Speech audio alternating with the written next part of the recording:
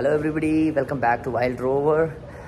सुबह के दो बज रहे हैं और मैं अभी मरीन लाइन से वापस आया हूँ नाइट शूट किया है मैंने कुछ मुंबई का uh, वीडियो अच्छी लगेगी तो लाइक और सब्सक्राइब जरूर कीजिएगा लेट्स स्टार्ट द वीडियो